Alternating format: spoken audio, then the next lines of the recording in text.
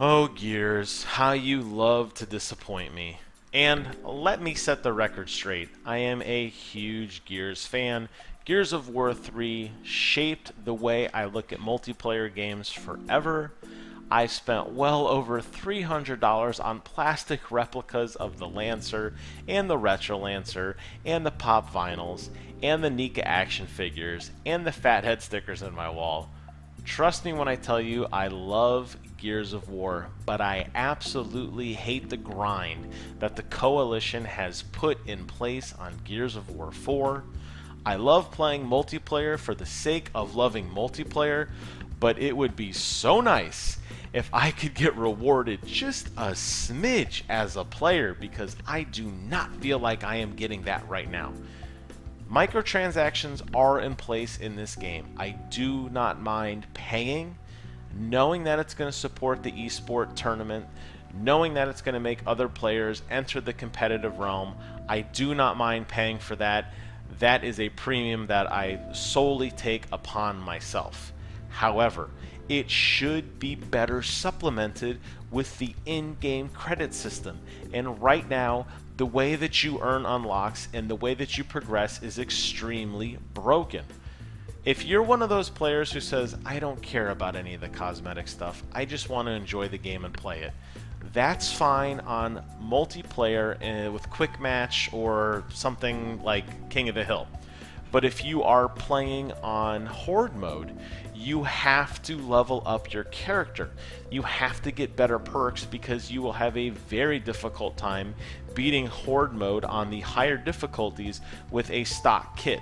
With your stock abilities, you're going to need to supplement your abilities, and the way to do it is with cards. And the best way to earn cards, unless you just want to throw money at the game, which, hey, go right ahead, is to use the credit system. And what ends up happening is you put money in the, you know, you, you put time into the game, you earn credits, and you cash in your credits for packs. And there are a slew of packs. Horde Pack, Operations Pack, Elite Pack, and now Seasonal Packs, the UIR Pack, and the Gearsmas Pack. If you want a new character, you have to get the Elite Pack. It runs 3,500 credits for 5 cards, and there is no guarantee that you're going to get a new character.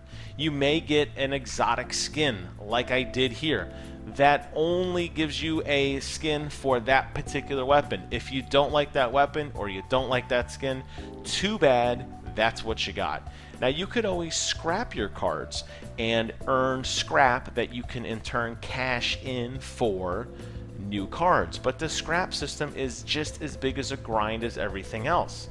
And when you unlock something, they don't remove it from your pool to buy again. In other words, there's a chance you could keep getting that same card over and over and over and over again, and there's absolutely nothing you can do about it other than play and continue. I wanted to show you guys this quick end of a match. You saw all the things that popped on my screen. I had a pretty decent match. I had a pretty decent score. I was actually second place on our team on this dodgeball map look at the rewards that I get for this. Now, this map took, um, I want to say, maybe six or seven minutes.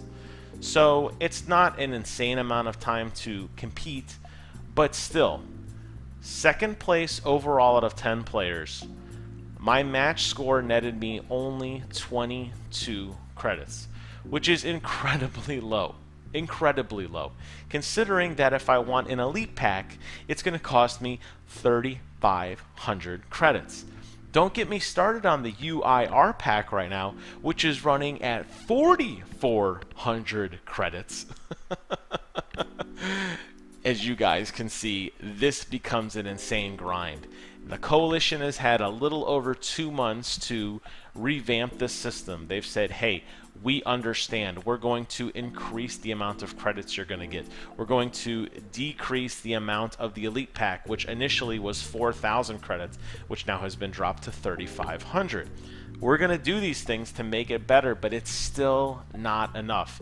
And with new customizations coming constantly, whether it is esports team, which right now it can only be purchased with real money, whether it's the Gearsmas set with all the festive holiday ugly sweaters and crazy uh, gun, that kind of, you know, gun skins and that sort of thing, or who knows what's next, Valentine's Day, celebration of Gears, who knows? There are so many different things that this game is going to continue to customize, and I appreciate that just like Halo 5 has done, where they've added a slew of new stuff. There's always a reason to come back, there's always a reason to compete, to get more stuff, to customize your character, to continue to have fun.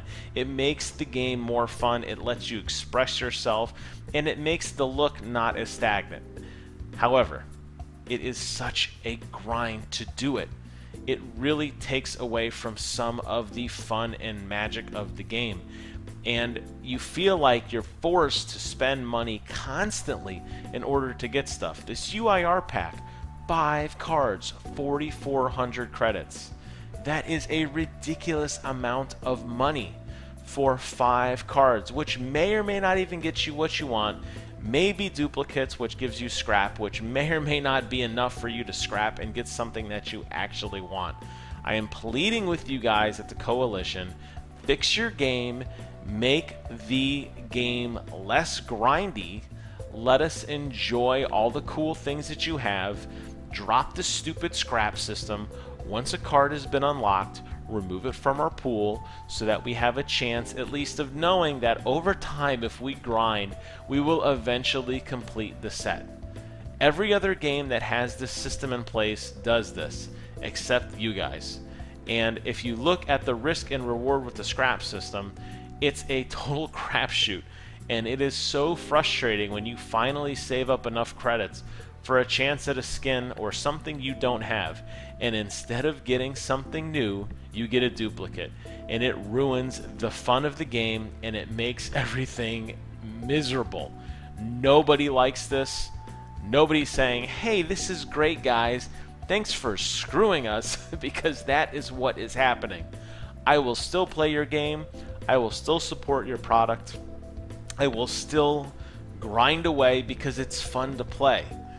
But I'm only going to do so with the three or four characters that I got at launch because every time I try my chance at an elite pack, I end up getting something stupid that I will never use for a skin that I don't want or for a weapon that I don't need, and I won't get the stuff that I want. And I don't think I am being out of the realm of saying how frustrating I am when you see the forums blowing up about this. The UIR pack has brought this into the forefront once again. It is broken. Please, I beg you, beg you, Rod Fergusson. I beg you, Coalition, fix your shit. As always, I want to thank you guys so much for watching. Get out there and play some gears let them know that you are not happy, but support this game because it's amazing, despite the fact that you're going to be stuck with garbage cards. Until next time, I will see you guys on the other side.